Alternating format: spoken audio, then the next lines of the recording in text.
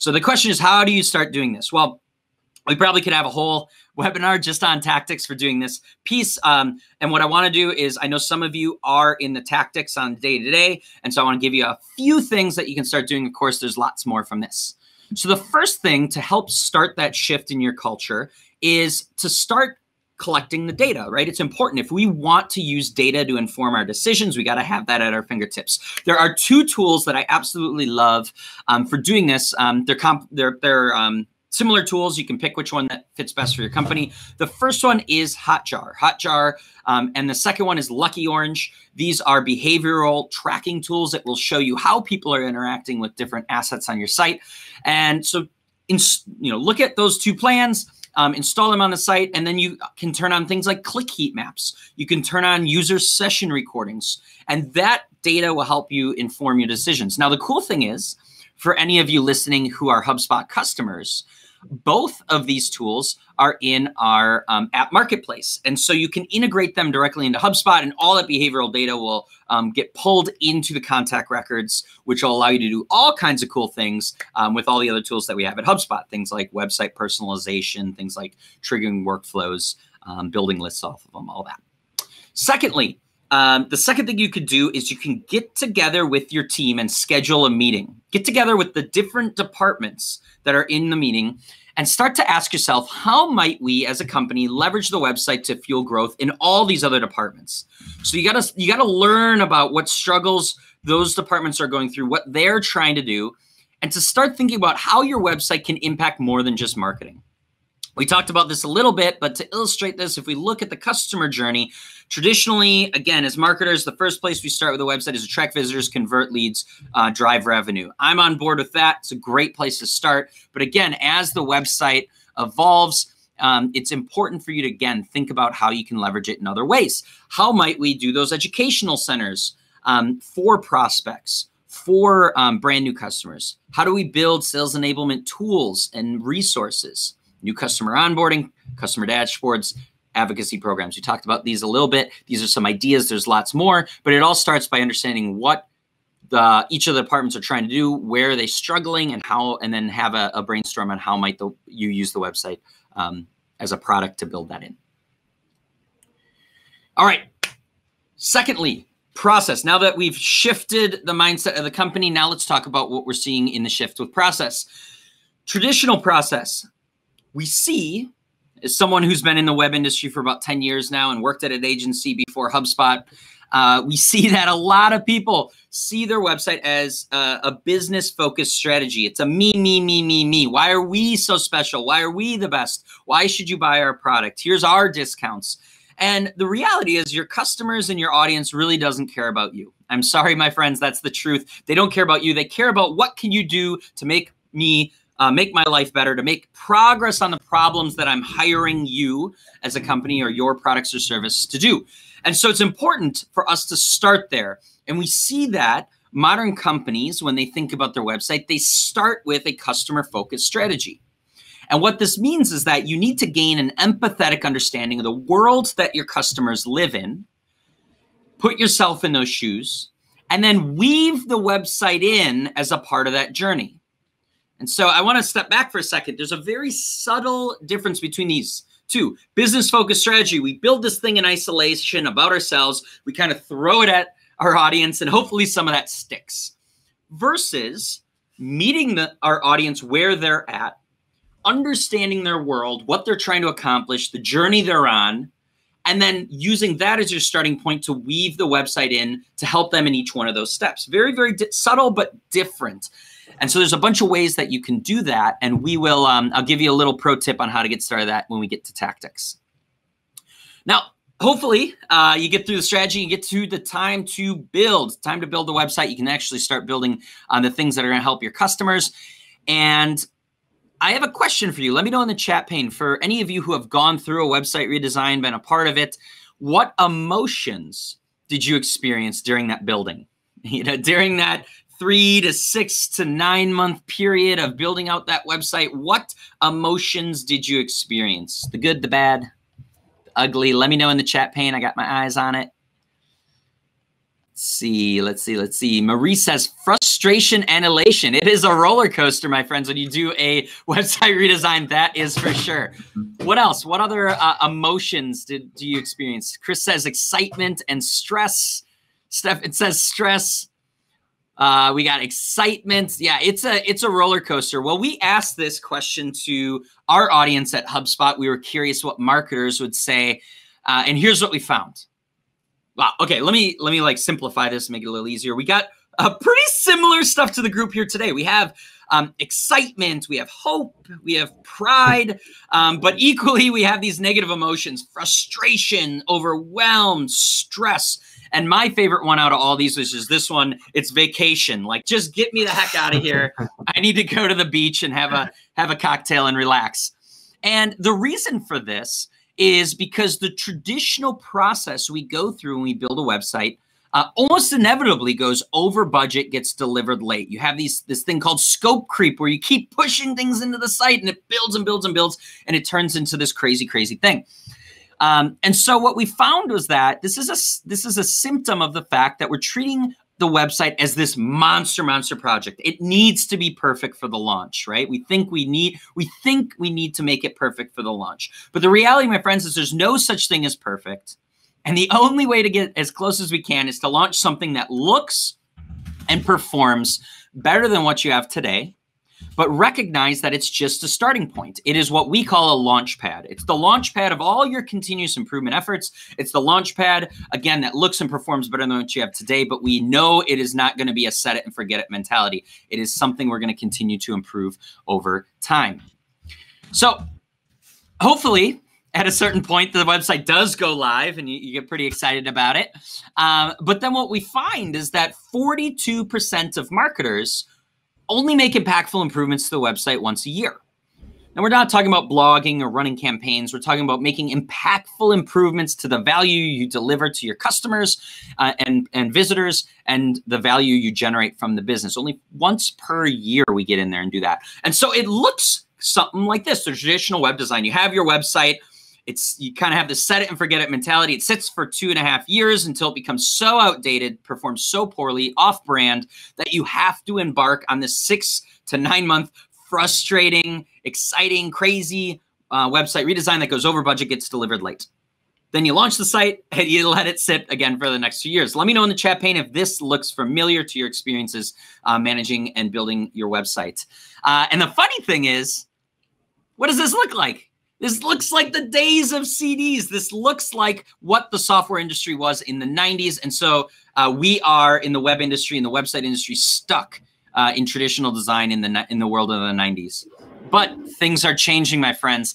The uh, what we see is that again, we're launching something that looks and performs better than what you have today, but then we know it's not a set it and forget it.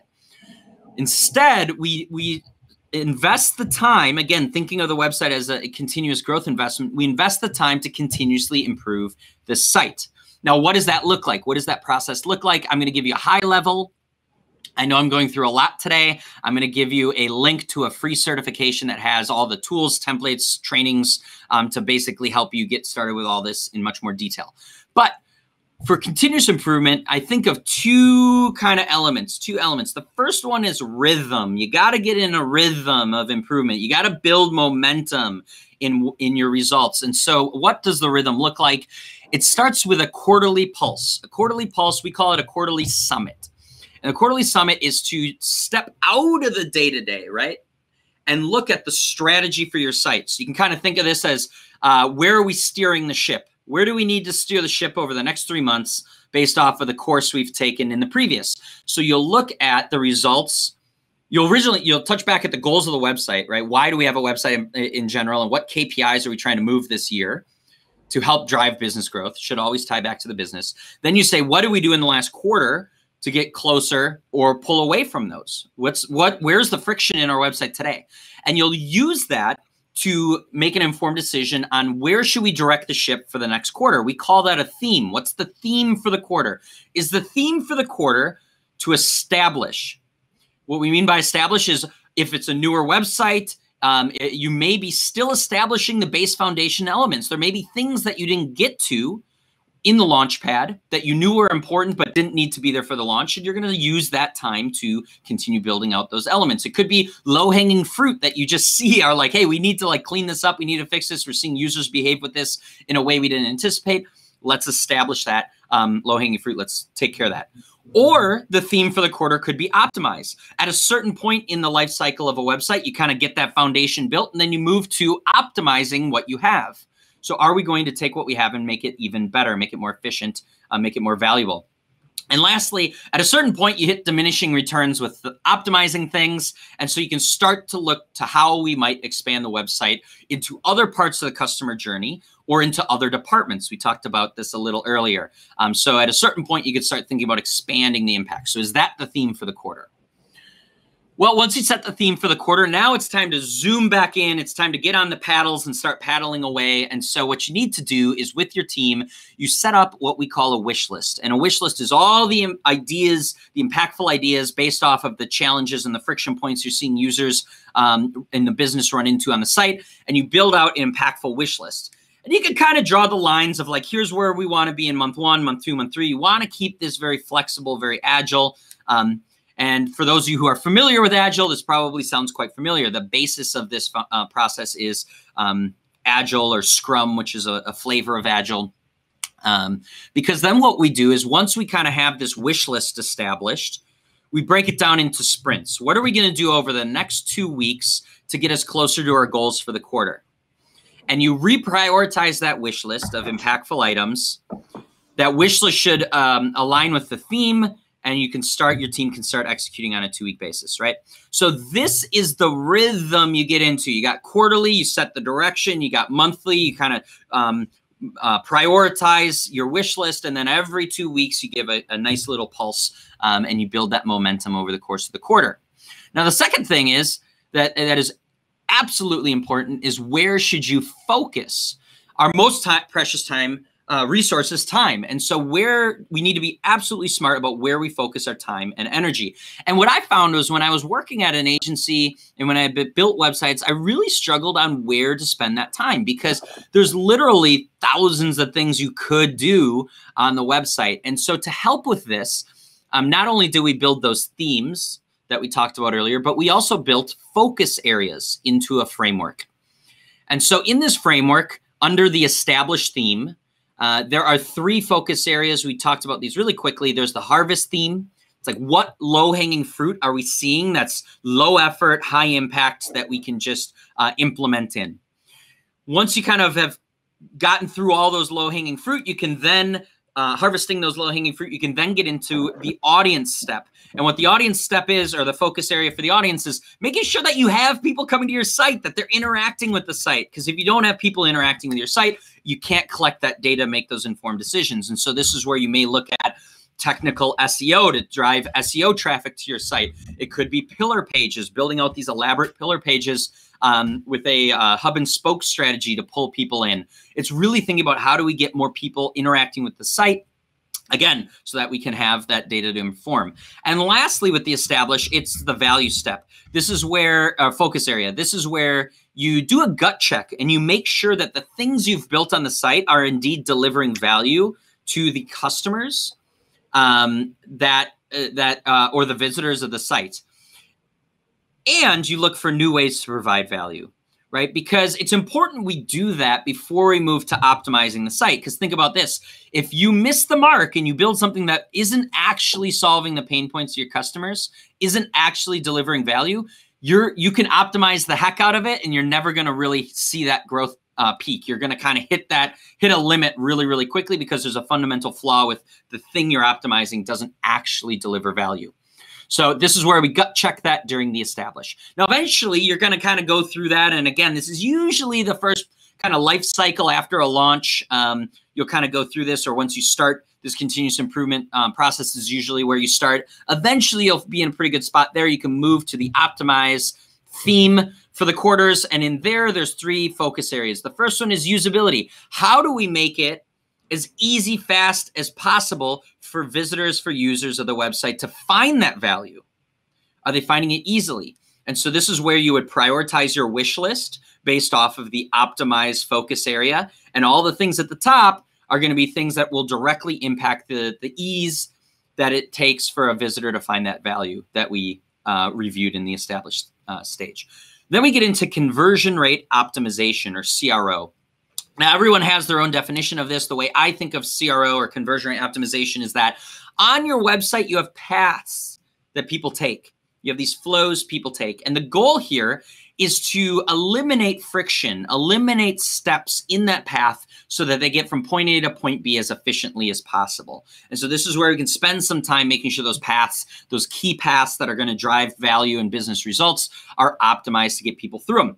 And lastly, in the optimize theme, we're going to do personalization. And so this is the thought that there should not be a one size fits none approach to a website. Every person expects a personalized experience. We see it now in in Netflix, in Amazon, and it just builds more value to customers and it allows you to generate more um, um, results as a company. And so here's where we look at how do we tailor the experience that a visitor gets, and how is that different than someone who's visiting on a mobile device? Different than someone who's a lead, someone who's a lifelong customer, someone who's purchased these products from us in the past. You start tailoring that website experience around them. All right, and lastly, we're going to go through this quickly. Um, the, you eventually kind of optimize, you hit diminishing returns, you move to expand um, as your theme for the quarter. And the way you prioritize your wish list is one, thinking about how do we build new digital products onto the site. These you can think of these as little digital products. We call micro apps at HubSpot um, or digital products. How do we build those on the site? I'll give you an example of what that looks like in a second. And then again, we already talked about this. You can get with your teams and think about how can we impact other parts of the customer journey, the onboarding, the customer, the advocacy um, part of the customer journey, and how do we impact those other teams that are company using the website as a tool. All right, so there you have it the process for building um, a peak performing website in a modern era. And what you see is that using this continuous improvement model, you have month over month improvement and you're able to unlock a lot of that um, uh, results that you normally couldn't get with a set and forget it.